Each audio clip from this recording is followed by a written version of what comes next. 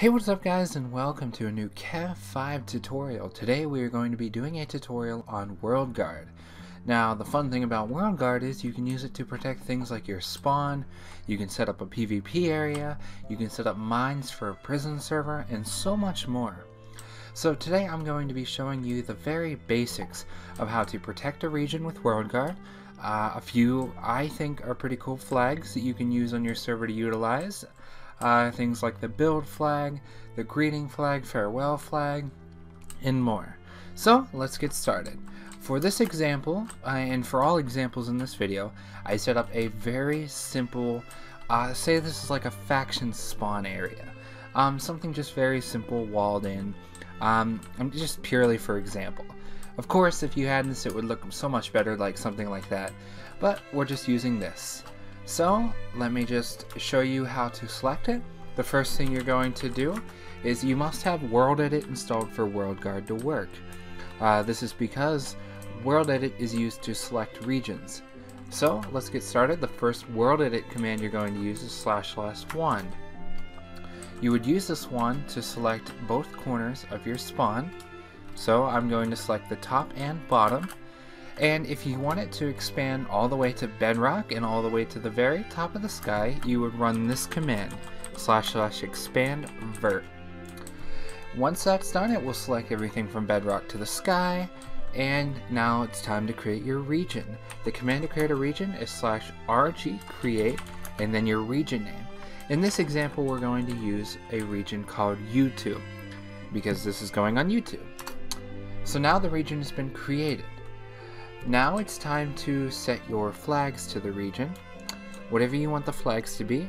So for now, we're going to do some simple flags. RG, the command is slash RG flag region name, so that would be YouTube. And you can type anything in it, and it will display every single flag that you can set. So say I want to disable PvP, I would do slash I would do PvP and deny. If I hit enter, it will say that it's been added to the YouTube region, so now PvP is set to deny. If I want to disable item drop on a hub server, for example, I would do item drop and then deny. So say you have this set up for a faction server. You want it so as soon as they exit their spawn, so let's just make a simple doorway right here. Something really horrible looking, but it works. So you want them as soon as they exit right here, it gives them a message saying, you're no longer safe, uh, PvP is now enabled.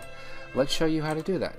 You would do slash RG flag, region name, YouTube, farewell, and then your message. So uh, you are now leaving spawn.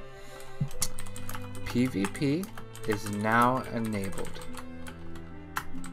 Now, watch this. If I had just spawned and decided to exit, as you can see in chat, it will say you are now leaving spawn. PvP is now enabled. Uh, it will not give you that same message when you enter. However, there is a greeting flag right here that we can set if we enter back into the region, which if your server is a faction server, you can't really, you're supposed to set it up so people can't get back into your spawn easily. Um, that's some of the more basic stuff. I also wanted to show you how to redefine and add an owner. So say you want to redefine the region and you only want this spawn point right here to be protected. Uh, you would select the corners of the spot.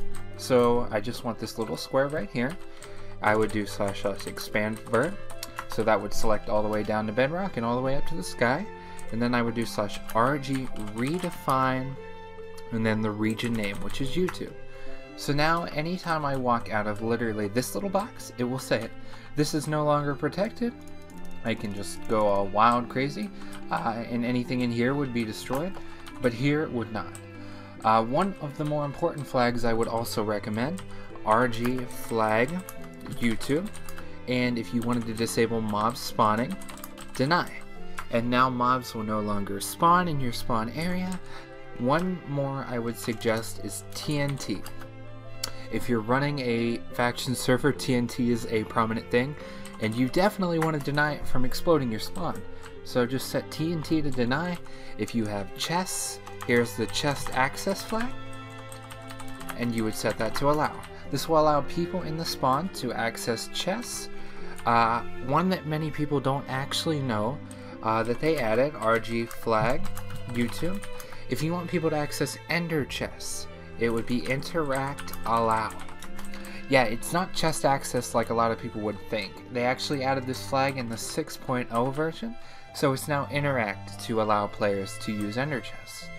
Um, I actually got this tutorial as a request from my YouTube comments. As usual, I always take requests in my YouTube comments. If you leave a comment below requesting a certain tutorial be done, I will be more than happy to do it. As well, I'm going to ask that if you are interested in the server, as you can see the scoreboard and all that, uh, here's a little flyover the spawn. I've actually done a, a video on my whole setup.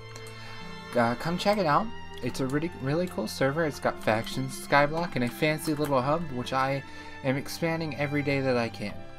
If you guys have suggestions for that, I do take them in a little box down somewhere.